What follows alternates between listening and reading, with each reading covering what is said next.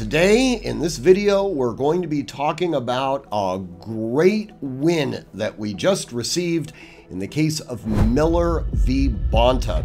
This is a decision that once again has been handed down by Roger T. Benitez, famous Saint Benitez that we've talked about before. This was a challenge to California's assault weapons ban. And Roger Benitez has said that the ban is unconstitutional. Again. Now, a little backstory on this because I think it's instructive. So, the original case actually gets pretty granular in its analysis. California has has well I guess technically had although there is a 10-day stay on this decision. We'll talk about that in a couple of minutes. But California has this assault weapons ban that effectively says that if a firearm has certain cosmetic features, then it's illegal to possess in California. One of those is that if it has a fixed magazine capable of holding more than 10 rounds, it is statutorily defined as an assault rifle. Now, that, that's actually not an entirely accurate statement. The first level of analysis has to be is it a center fire semi automatic firearm? If it is, then we move on to the next level of analysis and ask does it have a detachable magazine? If it does have a detachable magazine, then we ask does it have one or more evil features? Like collapsible stocks, flash suppressors, pistol grips, things like that. But then there is a subsection that says if it is a fixed magazine, then if it and it's capable of holding more than 10 rounds, then it automatically becomes an assault rifle. Now, for those of you who've watched some of these videos or have been following, you know, Judge Benitez, you may remember the case of Duncan v. Becerra or Duncan v. Bonta, where he ruled that standard capacity magazines were, you know, to any sort of ban was unconstitutional. And there was a brief period of time, about one week period of time back in 2019, euphemistically referred to as Freedom Week, where you could buy standard capacity magazines and you are still allowed to legally possess those standard capacity magazines. Well, if you had a standard capacity magazine that you were lawfully allowed to purchase and you were to then insert it into your AR 15 that has a fixed magazine system, an AR maglock or a Patriot pin or something that requires a disassembly of the action before removing the firearm, then you are now committing a felony. So you could have a, a, a, California compliant, completely legal rifle, and you could have a Freedom Week magazine, completely legal, but the minute you put the two together, you suddenly created a felony. So in the case of Miller, the, court, the, the plaintiffs had gone to Benitez to specifically challenge that section of the law. Effectively, they were arguing that, hey, you know, you you were the one, Benitez, that you know created Freedom Week and now have put all these people into the position of inadvertently becoming felons. Well, Benitez, in his original ruling on uh, Miller, said easy enough to correct the problem. The entirety of California's assault weapons ban is unconstitutional. We're done. Okay. Well, that case went to the Ninth Circuit, and then uh, we ended up having our beneath our uh, New York State Rifle and Pistol Association v. Bruen ruling. And now it's all the way back before Benitez again. Benitez rehears the case now using the new constitutional test as articulated in Bruen. And to no one's surprise, says the assault weapons ban is still unconstitutional. Okay, guys, I'm pausing this video for just a moment. USCCA, which sponsors these videos, they are doing a giveaway right now. It's very cool, and you're gonna wanna participate. Now, it ends fairly soon, so you're gonna wanna get on it. You can read all about it in the description below this video. All right, let's get back to the content.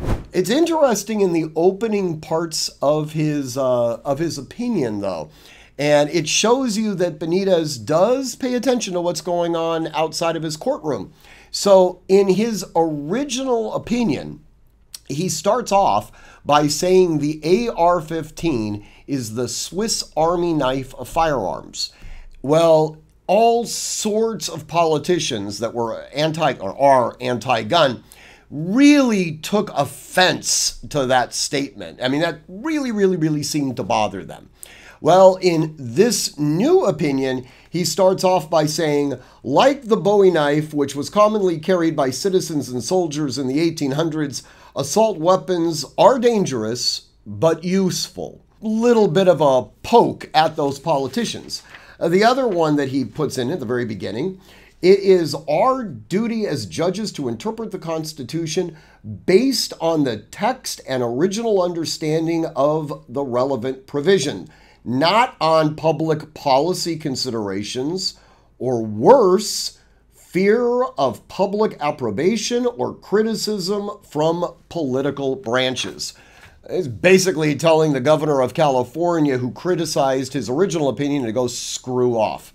Anyways, it, it's a very, very good opinion, very Roger Benitez.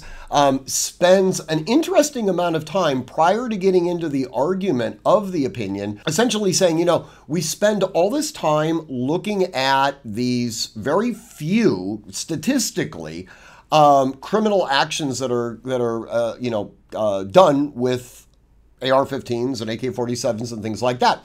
We spend absolutely no time looking at the legal use of these firearms, especially in self defense situations. And he runs through a litany of people that had been victimized by criminals and used AR 15s in order to defend themselves. And then obviously he goes into his traditional Bruen analysis and of course comes to the conclusion, which we knew he would do, that the law bears absolutely no historical analogy to anything that exists. In fact, it's frankly arbitrary and capricious because it simply bans a firearm based on its cosmetic characteristics. Anyways, he overturns it.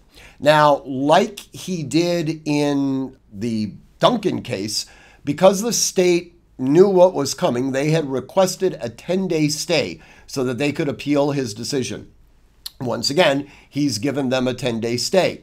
This will now go before the Ninth Circuit Court of Appeals.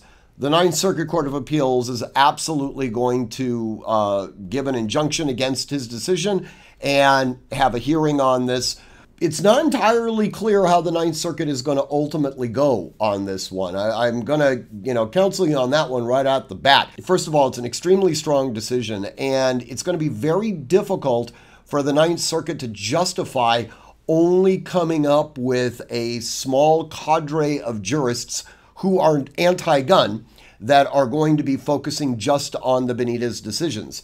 Irrespective of that, um, it's ultimately going to go to the Supreme Court. This will not just affect California. This will ultimately affect the entirety of the United States because I do believe this is going to go before the Supreme Court and this is going and the Supreme Court notwithstanding a change of makeup in the Supreme Court and if they are consistent with their Bruen decision they would ultimately find that these restrictions on the possession of AR-15s or making it look like a plumber built the AR 15 are in fact unconstitutional. We'll have to watch to see what happens, but it, it you know, every time we have a victory, um, we need to be able to celebrate that, and this is absolutely a victory. I do encourage you to read Benitez's opinion. They're they're always brilliant and really enjoyable to read. But with that, if you need to email me, by all means do so at art, Stephen at artemishq.com. And as always, train constantly, train consistently, train repetitively, and train with purpose. Above all else, stay safe.